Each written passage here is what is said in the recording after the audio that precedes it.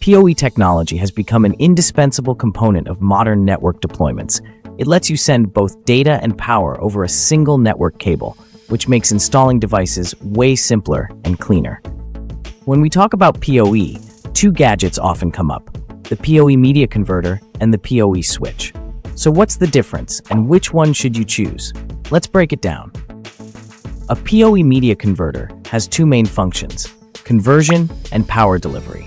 Basically, it converts signals back and forth, like turning electrical signals into optical ones, and vice versa. And while it's doing that, it can also send power over the Ethernet cable to a device on the other end, like a security camera. This is super useful for covering long distances. You'll often see it used to connect different network segments, like from a LAN to a WAN, or between different types of cabling within a network. On the other hand, a PoE switch also does two things switching and power delivery. A switch has multiple ports, so you can connect a bunch of devices at once, like cameras, wireless access points, and IP phones, and they can all communicate with each other over the network cables while receiving power. This is mostly used within a single LAN. Now let's compare them side by side. In terms of functionality, a PoE switch is great for connecting multiple devices and handling data traffic between them. A PoE media converter is designed for extending distance and converting between fiber and copper. In terms of ports, a PoE switch usually has a lot of ports. 8, 16, or 24 are common. A PoE media converter typically has just one fiber port with one copper port or with two copper ports. In terms of distance, using regular Ethernet cables, a PoE switch is limited to around 100 meters.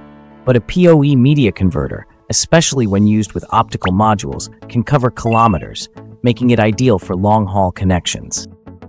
So which one is right for you? PoE switches are more suitable for scenarios with multiple devices and short distances. If you've got lots of devices in one place, like a small office with two IP cameras, two wireless APs, computers and IP phones, a PoE switch is your best bet. PoE media converters are more suitable for smaller installations and longer distances. Like a camera installed 500 meters away at a warehouse gate, go with a PoE media converter. Put one unit near the device and another in the server room. Connect them with fiber, and you've solved both power and data transmission over distance. So there you have it. Now you know the difference. If you found this helpful, give us a thumbs up and subscribe to our channel. And hey, if you're looking to get either of these devices, feel free to check out qsfptek.com. Both PoE media converters and PoE switches are available there.